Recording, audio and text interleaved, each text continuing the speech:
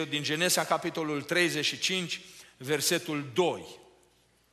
Iacov a zis casei lui și tuturor celor ce erau cu el, scoateți Dumnezeii străini care sunt în mijlocul vostru, curățiți-vă și spălați-vă, schimbați-vă hainele. Amin. Vă invit respectos să vă reașezați. O adevărată sărbătoare, sărbătoare între noi și în inimile noastre. Sărbătoarea noastră întotdeauna e pricinuită de ceea ce Domnul face între noi. Domnul face între noi și îl binecuvântăm pe El. Seara aceasta, în câteva minute, aș dori să continuăm mesajul care l-am început câteva săptămâni în urmă despre familia lui Iacov, familia ce se trezește, o trezire spirituală în familia lui Iacov. Am arătat săptămânile trecute că această trezire a avut loc pe fondalul unei crize din cauza uh, fiicei lui și din cauza celor doi băieți care au trecut prin ascuțișul săbiei o cetate întreagă, oarecum pe nedrept, și acum era în pericol el și familia lui. Primul lucru pe care l-a făcut Iacov în acest proces al trezirii spirituale uh, a devenit responsabil. Uh, s-a uitat la el însuși și și-a dat seama că e vinovat și că trebuie să reacționeze și că trebuie să acționeze uh, în ceea ce Dumnezeu îi cere și așteaptă de la el. Apoi, al doilea lucru care l-a făcut, a cerut casei lui să scoată afară Dumnezeii străini. Uh, bineînțeles că Iacov era responsabil că au ajuns Dumnezeii străini în casa și în familia lui. Uh, și e de felicitat faptul că i-a scos afară și săptămâna trecută acesta a fost uh, subiectul și ne-am oprit așa la câțiva întreagă, la câțiva Dumnezei străini care se pot găsi în casele noastre și de care trebuie să ne scăpăm. Și Dumnezeu să ne ajute, frați și surori, în lupta asta zilnică, uh, ori de câte ori alți Dumnezei vin la altarele noastre, să ne ajute Dumnezeu să îi scoatem afară și numai Dumnezeul cel adevărat să stăpânească în inimile noastre. Apoi, seara aceasta aș dori să ne oprim la uh, a treia acțiune specifică Uh, cerută de Iacov, curățirea și schimbarea hainelor. Curățirea și schimbarea hainelor. Uh, în primul rând, Iacov s-a referit la o curățire trupească. La o curățire trupească. Vă rog să țineți cont că normele de igienă pe vremea aceea nu se potriveau cu normele de igienă din vremea noastră. În vremea noastră, uh, un om își spală trupul, face shower, cel puțin o dată pe zi, uneori chiar de două ori pe zi, mai ales vara, când transpiri, aici în Arizona. Uh, pe vremea aceea, probabil, oamenii se spălau o dată pe săptămână, așa mai serios, poate o dată la două săptămâni sau o dată la o lună să facă o îmbăiere, o spălare completă, să spăla oamenii pe mâini, pe picioare și pe față. Dar îmbăieri și spălări de pline a trupului erau mai rare, nu erau posibilitățile care sunt acum. Oamenii locuiau în corturi, nu era apă la robinet, nu erau condiții. Iacov e conștient că oamenii lui sunt murdari. Și nu-i bine omul murdar să meargă să se închine. Se referea în primul rând la o curățire trupească și apoi o schimbare a hainelor. Oamenii aveau hainele murdare, alții poate aveau mai rupte, mai peticite, mai știu eu cum, mai sărăcăcioase. Cândva hainele erau o avere. Cândva hainele erau un lucru prețios. Acum, haine, care, care e problema cu hainele? Câte aveți în closet? Câte rochi aveți în closet, fetelor? Câte perechi de pantofi? Că să rup barele acela care susțin. Câte costume aveți, fraților, câte perechi de pantofi, ciorapi, blugi, geci, paltoane și așa mai departe. ce hainele în zilele noastre? Îs așa de multe că sunt prăștiate peste tot. De la baie și până la pat e plin de haine pe jos și de la pat și până la closet are plin de haine pe jos. Și altele agățate frumos și altele aruncate grămadă. Și o grămadă de haine pe sofa și altă grămadă de haine la Londri, în camera de spălat haine. Nu, cam așa arată casele în zilele noastre. Nu e așa, haine, când vorbești de haine, Biblia vorbește de haine ca și despre valori. Era mare lucru să ai un set de haine noi și frumoase. Întrebați pe părinții sau bunicii voștri că nu vorbim de, de 4.000 de ani în urmă. E destul dacă vorbim de 40 de ani în urmă, 50 de ani în urmă. Întrebați părinții sau bunicii dumneavoastră. Pe tata n-am putut să-l încălțăm. N-am putut să-i cumpărăm uh, pantofi. El a avut o pereche de bocanci, uh, cred că 20 de ani, puțin. I-a folosit. Că îi folosea la biserică și la zile de sărbătoare. Vorbiți cu oameni mai în vârstă pentru care hainele erau un lucru mare. Și să purta o haină, știți cât să purta o haină? Știți cât să purta o haină?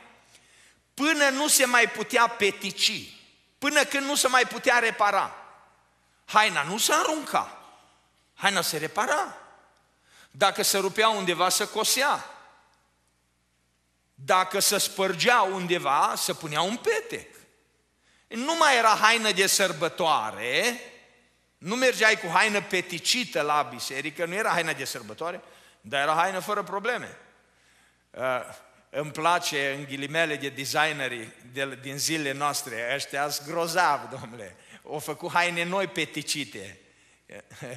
Îi face geloși pe frații de la țară. Acum dacă vin frații de la țară, dacă ar veni frații de la țară, de undeva unde lumea săracă și mai rămasă în urmă, dacă ar veni la noi aici în America cu haine peticite, cred că s-ar bate alții să le cumpere de la ei, să le-ar plăti bani grei.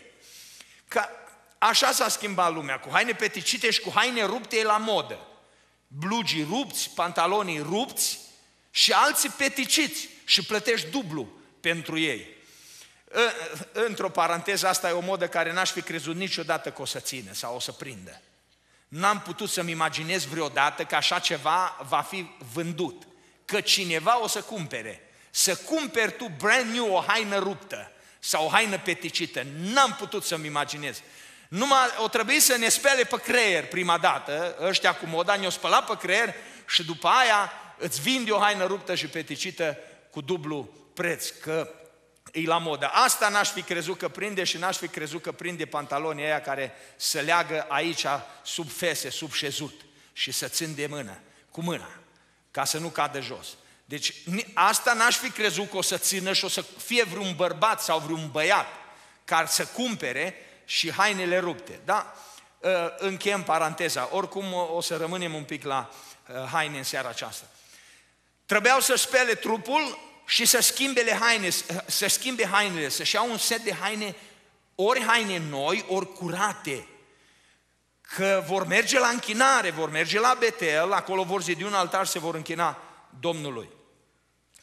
Uh, noi nu trebuie să punem mare accent pe spălarea uh, trupească, uh, toată lumea și noi trăim într-o țară civilizată și oamenii sunt foarte atenți și foarte grijuli din punctul acesta de vedere, noi trebuie să ne referim mai mult la o curățire a sufletului, a inimii.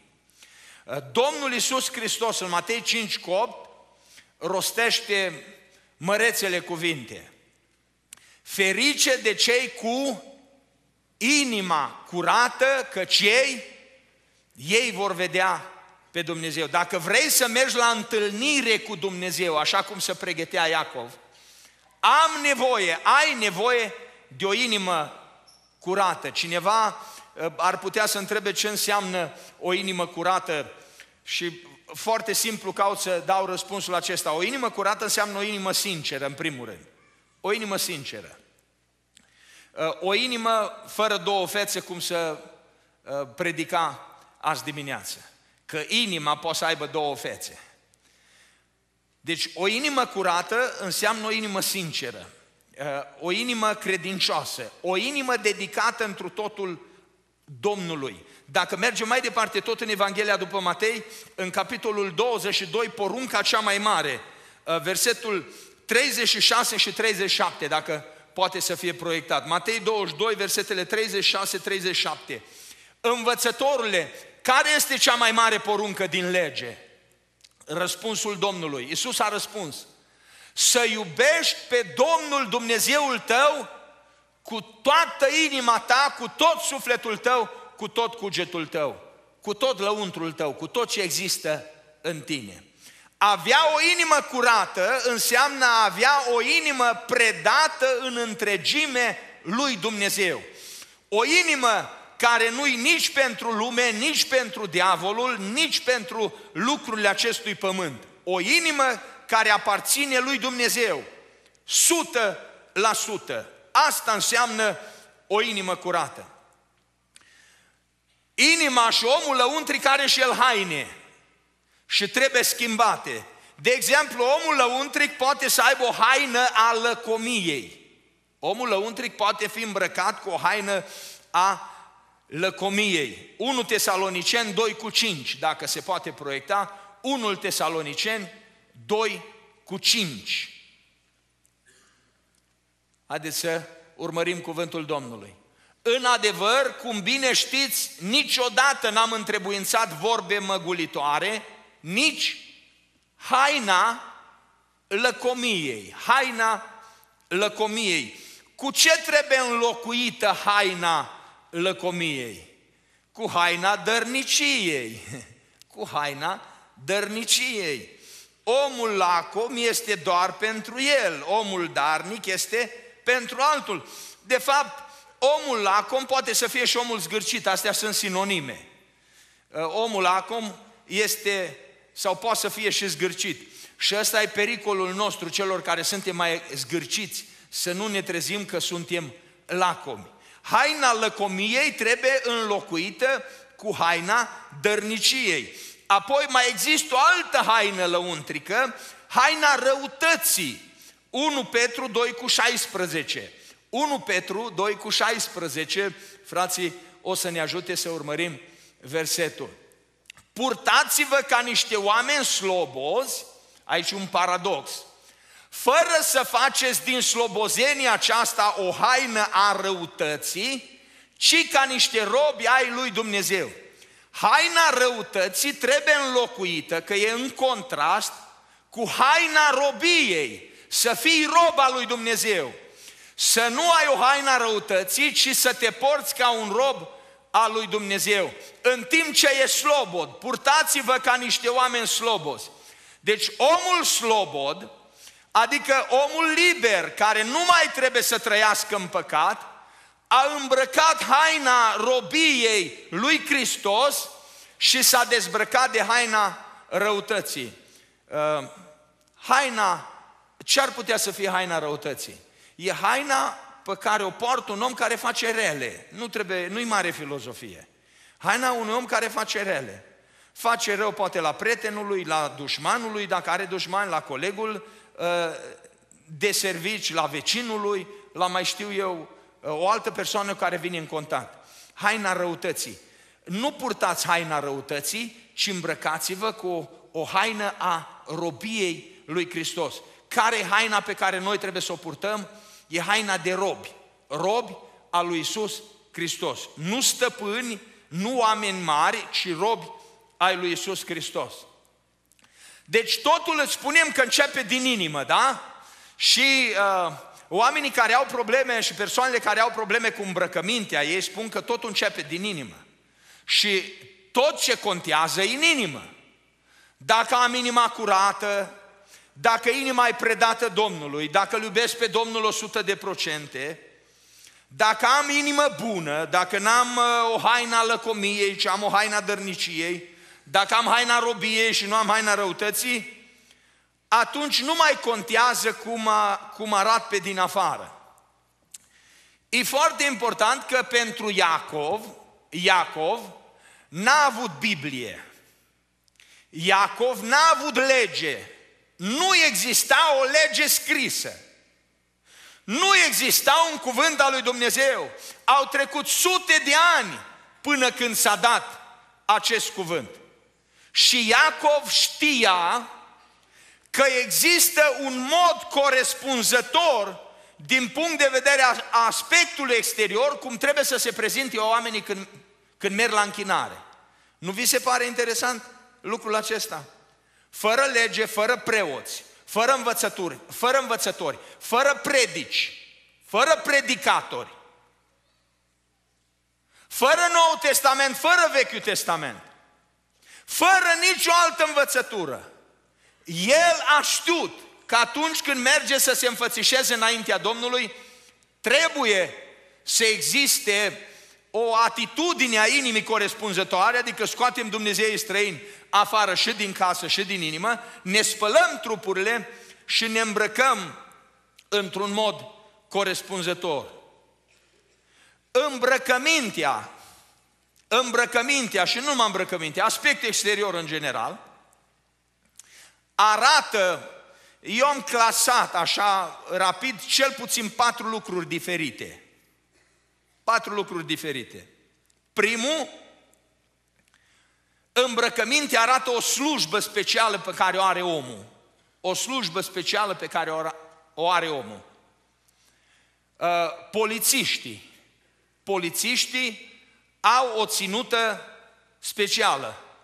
Cunoști un polițist când îl vezi pe drum. Nu-l cunoști dacă e undercover. Și dacă e undercover, nici nu stai de vorbă cu el dacă se leagă de tine. Dacă, dacă te oprește o mașină a poliției și iese un civil afară din mașina poliției, pornești mașina și te duci mai departe. Zici, bă, ăsta o fura mașina de la poliție și se leagă de mine, o fi un răufăcător, o fi un criminal care să dă drept polițist. Haina poate să denote și să arate o slujbă specială. Am vorbit și cu altă ocazie, piloții la avion, piloții de avion, au o ținută specială, au, au uniformă a lor și vin cu geanta aia lor și sunt îmbrăcați ca piloți. și nu știu cât s-ar urca în avion dacă ar veni unul din ăla cu pantaloni trași după el, cu tatuaje și cu niște plete așa aruncate pe spate și în față și mai știu eu cum, un ciudat din ăsta. Nu știu cât s-ar mai urca în avion. Ce ar zice toată lumea? Mă, ăsta nu-i serios. Da, pentru alți oameni care se poartă așa, ăștia serioși. Numai pilotul n-ar fi serios dacă se poartă așa. La spital, asistentele medicale sau medicii au o anumită ținută. Deci, din punct de vedere exterior, ținuta poate să arate o slujbă specială. Apoi, poate să arate un eveniment. Un eveniment.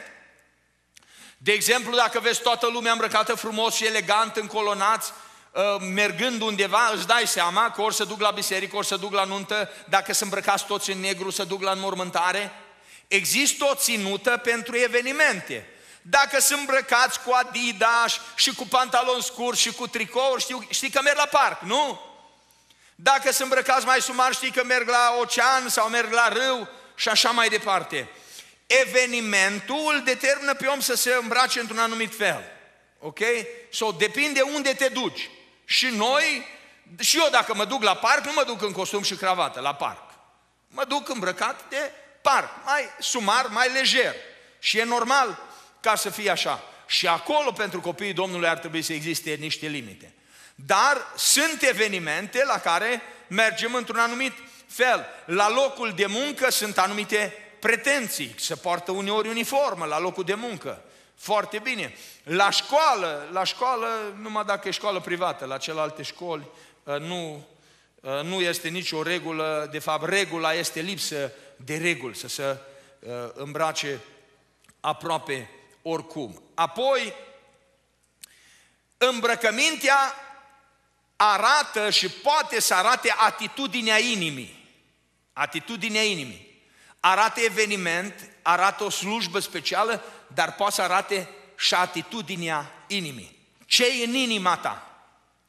Un bărbat serios să îmbracă cum se îmbracă oamenii serioși în general. Acum mi-e foarte greu să dau o definiție ce aia un om serios și cum se îmbracă un om serios. Să-i băgăm într-o uniformă. O femeie serioasă se îmbracă așa cum se îmbracă femeile serioase. Arată ce e în inimă. O femeie stricată, o femeie care își vinde trupul, se îmbracă într-un mod corespunzător ca să atragă clienții. Îmbrăcămintea trădează atitudinea inimii. ce e în inima omului? Omul spiritual, omul spiritual ar trebui să se vadă și după felul în care se îmbracă. Domnule, e un om spiritual, e un om serios. Omul firesc, omul care nu e interesat în Scriptură, el va arăta cam așa și ne va da nouă dureri de cap și va trebui să le mai atragem atenția. Bă, ce ți-ai făcut cu părul, bă? De ce l-ai încurcat, mă? De ce l-ai stricat? L-ai dat peste cap? Altă paranteză, dar nu mă pot răbda. Nu mă pot răbda la chestia asta. Nici moda asta n-am crezut că o să țină. Să te piaptăni ca să arăți nepieptănat. Să te piaptăni cu pie- părul încurcat. La băieți. Mă băieți, mă. Mă oameni buni, mă. Fiți serioși. Arătați că sunteți adulți.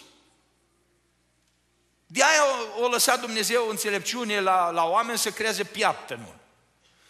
Și care n nu mai au păr, că e mai puțin, nu e nicio problemă, cu prosopul se rezolvă. Dar cei care îl aveți, nu vă bate joc, nu treceți ca prin furtună, zici că Uh, ori a trecut prin capul, cu capul pe la uscătorul uh, din Londri, ori pe la uscătorul de la mașină, când uh, și-o spălat mașina și-o scos capul afară, ori ceva, ceva s-a întâmplat. Băieți, fiți, fiți mai serioși, arătați că sunteți oameni pocăiți, nu vă luați după toate stelele astea căzute de la Hollywood și după toți nebunii din lumea asta, ca să fiți și voi cool, să fiți și voi interesanți. Că felul în care te prezinți vorbește despre atitudinea inimii, ce e în inima ta. Și asta merge cuplat cu ultimul. Potențialul financiar, de asemenea, poate să fie trădat prin uh, modul în care se îmbracă cineva. Poți să te uiți la cineva și să zici, bă, ăsta are bani. Sau îi sărac, dar vrea să se dea ca și ăia care au bani. Deci nu-i sigur întotdeauna, dacă nu-l cunoști, nu-i sigur. Dacă îl cunoști și știi că are bani, te uiți la el, zici, mă, na, ăsta se îmbracă după contul din bancă. Ok? Dacă știi că are bani, se îmbracă mai modest, zici, mă, fii atent, ăsta are contul gras, dar uh, se îmbracă modest, mai interesant. Uh, nu-și cumpără pantofi de 1000 de dolari sau de 700 de dolari sau de 500 de dolari, e în buget. Oamenii, oamenii cu bani uh, caută să arate prin modul în care se prezintă. Oamenii fără bani ar vrea uneori să fie asociați cu cei care au bani. Și ăsta e un pericol. Deci e un pericol. Mare atenție. Deci mare atenție. Dacă Dumnezeu te-a binecuvântat cu bani mulți și îți permiți să-ți cumperi lucruri mai scumpe, Domnul să te binecuvânteze și să fii și un om darnic. Dar nici tu, dacă ești, slăvit să fie Domnul, că nu avem din ăia putres de bogați printre noi, sau nu-i cunosc eu dacă ar fi, uh, Domnul se binecuvântează pe toți care au destul de mult, dar nu trebuie să fie exagerat. Nu trebuie să fie exagerat. Nici cu îmbrăcămintea, uh, nici cu mașina, nici cu lucrurile din casă. Nu trebuie să fie exagerat. Îmbrăcămintea uh, poate să, trateze, să trădeze atitudinea inimii, dar și Uh, potențialul financiar. Uh, omul sărac, omul modest, îl vezi de la distanță. Uh, mie ce îmi place în America și la mulți americani, că majoritatea milionarilor americani, știți ce conduc? Știți ce conduc? Majoritatea milionarilor americani. Ford F-150. Ford F-150. Majoritatea milionarilor americani. Și știți cu ce se îmbracă? Cu blugi și cu Adidas sau cu cowboy boots și cu o cămașă cu mânecă lungă and that's about it. Îl vezi la grocery store, îl vezi în magazin, îl vezi la gas station, îl vezi pe stradă, habar n-ai. Habar n-ai că omul ăla e multimilionar. Majoritatea americanilor. Acum este o categorie care pe frunte le scrie, numai că nu și-au pus tatuaj, dar le scrie așa de la, de la distanță. Frați și surori, iubite fete, iubiți băieți, îmbrăcămintea noastră trebuie să arate că suntem copii ai lui Dumnezeu și că aparținem lui. Nu mai avem timp să luăm versetele din Biblie, sper că le cunoașteți, care vorbesc despre îmbrăcăminte la bărbații puțin. La bărbați, părul să nu fie lung, părul să nu fie lung, pletoșilor, la frizer cu voi. Părul să nu fie lung și să nu se roage sau să prorocească cu capul acoperit. Domnul să, vine, să binecuvântează toți bărbații pentru că vin cu capul dezvelit la adunare, că scrie în Biblie. Își necinstesc capul dacă se roagă cu capul învelit. La surori, cuvântul Domnului le spune să aibă capul acoperit. Așa spune Biblia care o citim noi, care e tradusă în limba română și am citit și în limba engleză, scrie la fel, am citit și în limba greacă și scrie la fel și am citit și în ebraică și scrie la fel. Și în limba engleză în mai multe traduceri scrie la fel. La femeie spune să se învelească și să se îmbrace în chip cuvincios, asta înseamnă să nu atragă privirile bărbaților, cu rușine și sfial, adică într-un mod timid. Să nu-și dea seama lumea dacă stau un grup de bărbați de vorbă și trece o astfel de femeie pe lângă ei, nu le atrage atenția. Nu le atrage atenția. Dar dacă toți bărbații ăia se opresc din discuție, când o trecut femeia și se uită după ea, we have a problem. We have a problem. Și ceva nu e în regulă în inimă. Deci e foarte simplu și pentru bărbați și pentru femei.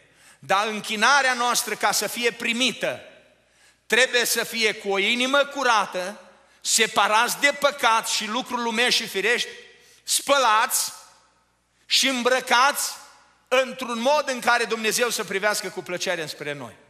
Doamne ajută-ne!